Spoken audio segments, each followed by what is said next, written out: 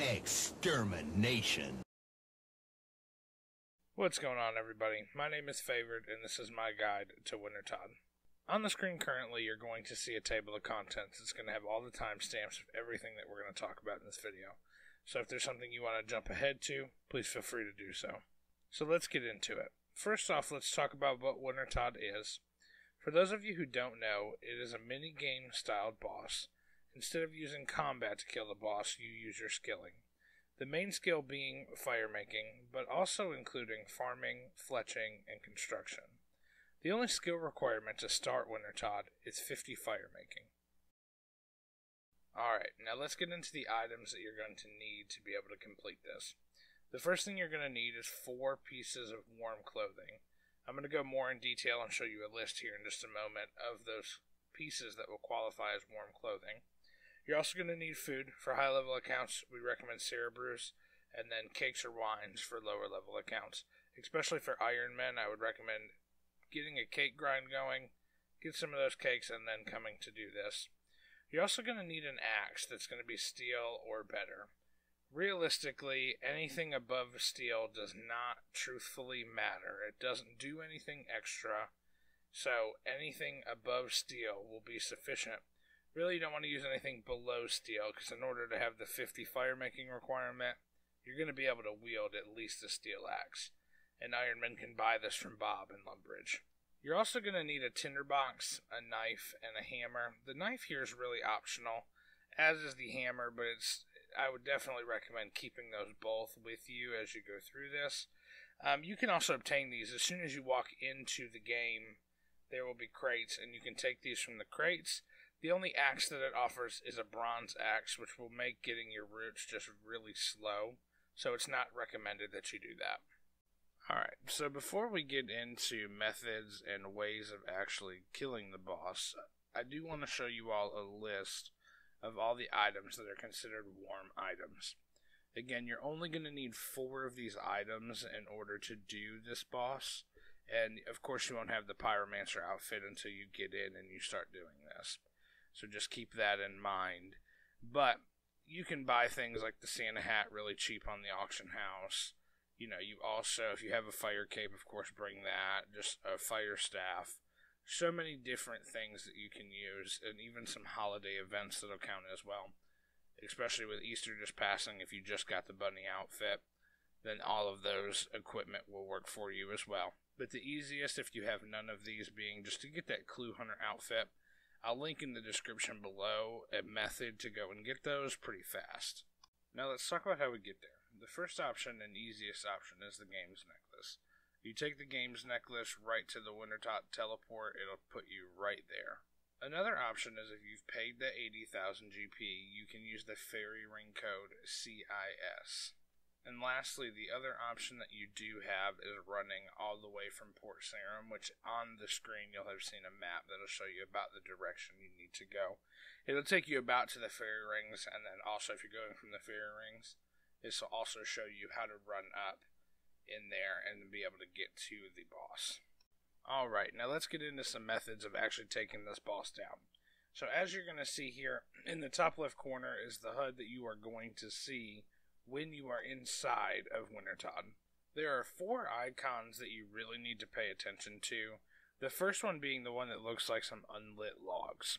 Now this means that the brazier has been unlit and that it just needs to be relit. Anybody can do this. There's no requirements to do this. You just literally have to click on it. It'll relight it and it'll also give you 25 points. The next icon shows you that the brazier is already lit. Really, when this is happening, that means that you can contribute the, the roots or the kindling to it to continue to get points. If you add the root without fletching it, you're given 10 points per root that you put in. If you are fletching them and putting them into the brazier, that gives you 25 points per. During some matches, you will have the brazier get damaged and it will need to be repaired. Repairing it does award 25 points. Now, you just want to be careful, and I'll show you all a method to making sure you don't get damaged when the brazier gets damaged. Last but not least, when the Pyromancer is down, you are going to see a red hat icon appear in whatever direction it is that you are. When this happens, you just need a rejuvenation potion in your inventory, which is used from getting a concoction from the crate and then picking one of the herbs on either the east or west side of the map. Once you use this on the pyromancer when he is down, it's a very quick and easy 30 points. So I always recommend having this potion in your inventory because you could just be throwing points out the window. Alrighty, so once you get here, what my recommendation is is that you get 10 of whatever food it is that you are using. So in this case for me, I'm using sara brews. You can also grab a tinderbox, a hammer, and a knife. Um, if you don't have these things, you can get them once you enter the door. So once you're ready, just go ahead and enter the door. And then as you get in, you're going to see the energy. So this game is just about to start all the unlit braziers, and then as you'll see, they all got lit, and now everybody's running to go ahead and cut them. So what I'm gonna do here, I'm gonna wait till this game's over, and then I'm gonna start fresh on the next game with you all. But what I would recommend doing here, go ahead and grab that concoction and hold it in your inventory if you're in a game that's part of the way through and you you're not going to get your points I'd go ahead and run. You run here to the. I always go to the west side, but there is one of these on the east side as well. Go ahead and grab one of these herbs, and then I'm just going to run back to the safe zone. So, tell you everything that you really need to know, once you get past this point right here, and you're in this like general lobby area, you're not going to take any damage from the cold. So as you'll see, all these people that are getting hit for sixes and threes and eights, this is all the cold that's just hitting them, and this is random it can happen one or two times in a game. It can happen seven or eight times in a game. I would say on average it's probably closer to the seven or eight. Um, some games it feels like you're getting hit constantly. Um, I know that some people come up here to Fletch as well, but we're going to talk more about that here in just a couple minutes. So I'm going to go ahead and wait and then fast forward to when we get to where the next game's starting, and then I will walk through everything I do in the game with you all. All right, so we're now at the point where the game's about to start in about 30 seconds. So whenever a game ends, there's an intermission that's normally like, let's say, 45 seconds to about a minute and a half. So I went ahead, got the potion made, so I have in my inventory 10 sara brews, a tinderbox, a hammer, and my rejuvenation potion. So I'm going to go ahead and take a quick sip of my brew. That way it's got me above where it needs to be. And then as soon as the timer goes up, go ahead and click on the brazier and light it. It gives you your first 25 points. And then run over here and start to chop the bruma roots. So while we're chopping this, you have two options after you get the roots.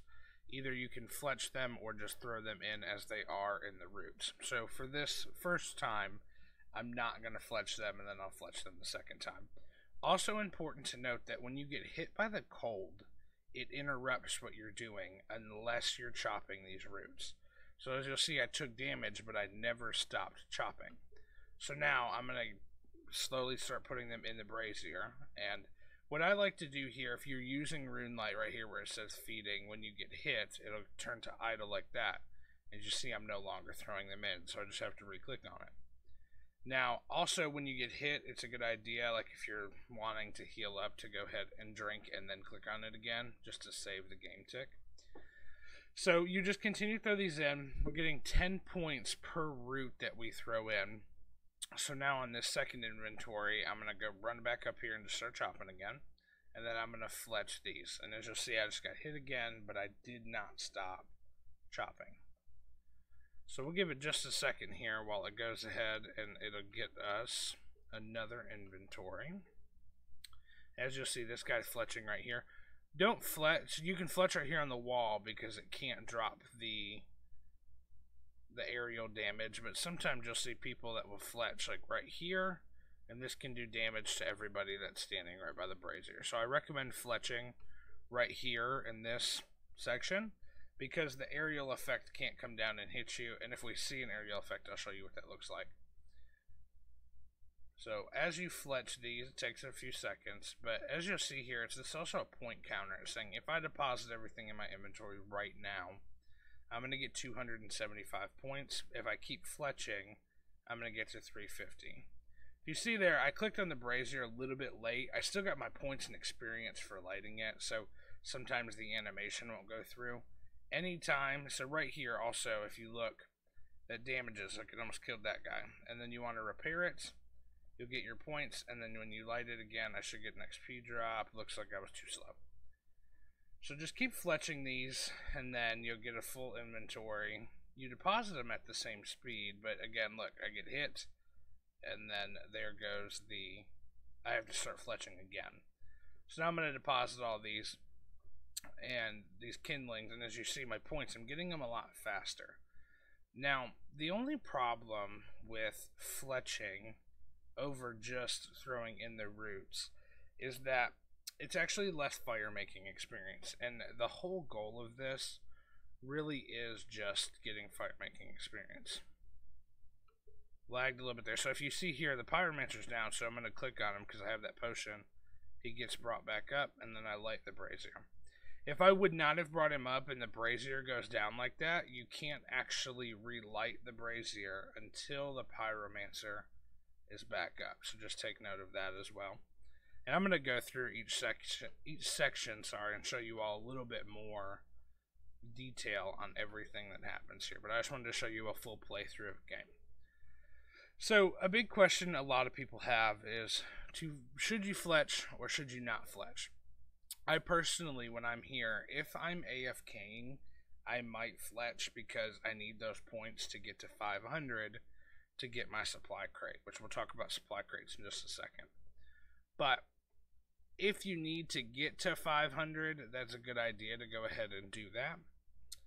Um, but again, if you're not AFKing and you're just here for the experience, I highly recommend just doing the fire making. So if you all just saw in the XP drop as well, you get good XP for depositing it, and then you also get whatever your level is times that by 100. So I'm at 92. So I got 9 9.2 thousand experience because I went ahead and finished the game, got my 500 points. So it's always crucial to get your 500 points because it really gives you that big XP drop. Okay guys, the first thing I want to show you all today is when the brazier gets broken. So this is a clip just from when I was doing a random game and the brazier broke. So the first thing I'm going to go ahead and play, if you see the snow falling over the brazier, after the snow falls on the brazier, the brazier breaks. In this case, I did not step away in time. Don't know what I was doing, just wasn't paying enough attention. And as you see, anybody in the area, nobody stepped away, so we all took damage. All you have to be away is one square in this for this not to hit you. Okay guys, the next clip I'm going to show you is just when the brazier becomes unlit, when the fire gets extinguished from it. So, I'm going to go ahead and play this clip, and as you'll see, there's just a little bit of snowfall. Brazier gets unlit. You have to re-click it. Again, I failed here. Didn't click it in time. Oh, actually, I did. I did click it in time. As you'll see, I got the XP drop. So, just keep that in mind. Look out for that when it goes down. You can get right back into it, and then you can get your experience and your 25 points for that as well. Okay, guys, what I'm going to show you here is a clip of when that 3x3 square gets put up, and it's going to affect everybody in the area. So I'm going to go ahead and hit play, and as you'll see, the snow's falling here.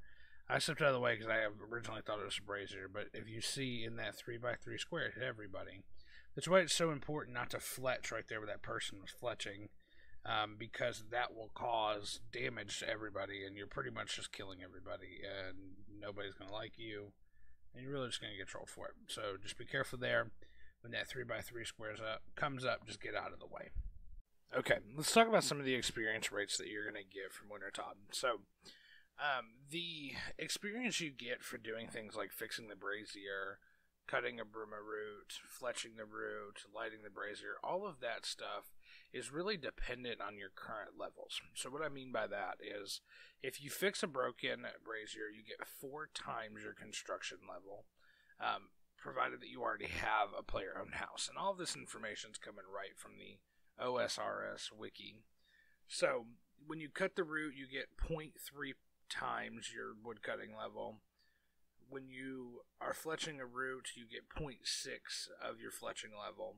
and so on. So the big ones, you know, we're here for fire making mainly. We're not here. This is not a good experience rate for wood cutting or for fletching. So I want to focus more on the ones that give you the fire making experience. So it's always important if you're standing at the brazier to always light it because you get six times whatever your fire making level is in experience. So, what does that mean? That means, like, for instance, I have 92 fire making at the time of making this video. So, every time that I light that brazier, I get 552 experience. So, take your level, times it by 6. Every time you light it, that's the experience you get. So, really, you should be lighting it in the beginning of every match. There's no reason to go and start wood cutting right away. It is more ideal for you to do lighting the brazier and then go to cut. The other big, big drop that you get here is when you are subduing the boss, right? When the game's over, as long as you have 500 points, you're going to get 100 times your fire making level. So whether you have 500 points or 600 points, this is going to be the same exact XP drop. So some of you might be wondering kind of what does this look like per hour as well. So this is the wiki's chart on the experience you're going to get per hour. Um, this is with no fletching, and they, they consider this high concentration. So at 92, if I'm not fletching, I'm getting about 300 to 315k an hour. So every level that you have really does count, and it, it increases it. Um, really, it takes about 600 plus games. Um, they say on here it takes 670 about 670 with to achieve 99 fire making using the kindling. So that's based on you getting 800 points per kill. This is really give or take. It's not gonna. Not everybody's gonna take 670. It's gonna take some 630, some 645. Really, it's all dependent on how you play and how efficient you are in the boss. All right, so now let's talk about the most important part, which is the loot process and what this looks like. So, for every 500 points that you get in a game, you get one supply crate. Now, if you get over a thousand points in a game, this does not mean that you get two supply crates. What it means is that you get higher chances towards the loot table. So, you only get one crate, but you get more loot out of the crate, if that makes sense. So on the wiki here, it says, for example, 750 points would guarantee two rewards, plus a 50% chance at getting a third reward. So just gives you a higher chance of getting other things. So some of the really noticeable drops, or this unique drop table you're going to have, is going to be the Bruma Torch. It is untradeable. It ex- it's an inextinguishable light source that you can hold in your weapon slot. The Pyromancer outfit, the warm gloves, those are all pieces of warm clothing that you can use later. Really, what I did is I opened all my crates until I got my Pyromancer outfit, and then I'm saving the rest of my crates until I hit 99. The reason that I did this is I did not get 99 in one go, and your rewards that you get from these crates are actually based on your other skills. So I've leveled my farming up, I've leveled my mining up just so I could get better rewards from these crates. The two biggest things on this drop table is going to be one, which is the Tome of Fire, which is tradable. The Tome of Fire, once you put burnt pages in it, it gives you the ability to have endless fire runes, as well as 50% increased damage on fire spells when it's equipped. So it's a great thing to have. And then, of course, what every person in RuneScape goes after is the pet. Uh, the pet is really rare. It's a 1 in 5,000. So it's saying that you would have to literally have so much experience before you're even getting the pet. Um, and really, you shouldn't get the tome before 99. But of course, some people go dry for 200 mil experience, and then others get it at level 60. So it just depends on where your luck and RNG lands there. Also, very important to note is that if you have extra sets of the Pyromancer outfit, you can trade them to Ignisia outside of the mini game or the boss. I mean, I'm sorry. So outside of the boss, you can trade these pieces, and it gives you an extra supply crate that'll have chance at five rolls. So recommendation is whatever you do with your pieces when you have multiple pieces, just trade those in for extra supply crates. It equals more money it's also going to equal, you know, better chances of getting the pet or the rare drop of the tome. So the other thing I did totally forget to mention just a second ago is the Dragon Axe drop. That's also on the loot table. And it's a 1 in 10,000 chance. So there is a big item, tradable item there as well that can be used for good GP. Guys, thank you so much for staying through and watching to the end of this video. It is truly appreciated. Um, I'm still new into the content creation, so I know there's some parts of this video that are probably a little bit rough, so thanks for bearing with me.